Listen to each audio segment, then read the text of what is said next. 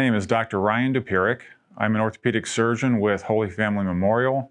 I specialize in arthroscopic and reconstructive surgery of the shoulder and knee. Today I will be talking to you a little bit about rotator cuff tears, including the causes and potential treatment options. The rotator cuff is a series of four muscles and tendons within the shoulder.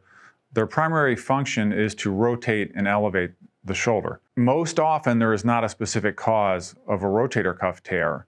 As we age, our tendons lose vascularity or blood supply, and with that, the tendons become a little more weak. Most of us want to know exactly what the cause is of a tear or injury, but unfortunately, in most patients, there's not a smoking gun. Some patients do have a trip or a fall or injure themselves while lifting something heavy, but for the most part, this is a chronic degenerative condition that can occur at any point after age 50. With respect to treatment options, we have many different pathways. For patients with very slight rotator cuff tears, we often consider things like physical therapy or anti-inflammatory medicines. Sometimes an injection would be considered. Many patients will be able to get symptomatic relief with non-surgical care for these small partial rotator cuff tears. In some patients, the initial injury is a traumatic event and they have a large full thickness rotator cuff tear. In young active patients, we typically do recommend surgery as the first line treatment for those.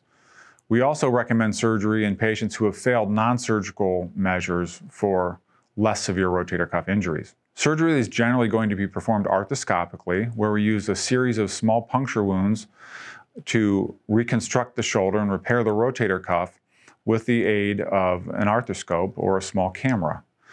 Surgery takes about an hour and a half, and we repair the rotator cuff back to the bone where it tore from.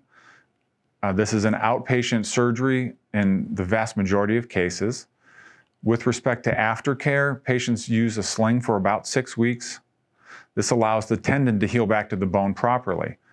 During that first six weeks, we do start with some home therapy exercises, but formal therapy generally will start at about six weeks after surgery. In most cases, patients can expect about a 95% likelihood of a good or excellent result after arthroscopic rotator cuff repair. My recommendation for any orthopedic condition is to search out an orthopedist with specialty training in a certain anatomic area. So if you have a rotator cuff tear, you would be best served by pursuing treatment with someone with specialty training or a fellowship in the shoulder. This would ensure that they have the greatest amount of experience in both simple and complex shoulder reconstructions and would give you the greatest likelihood of a good long-term outcome.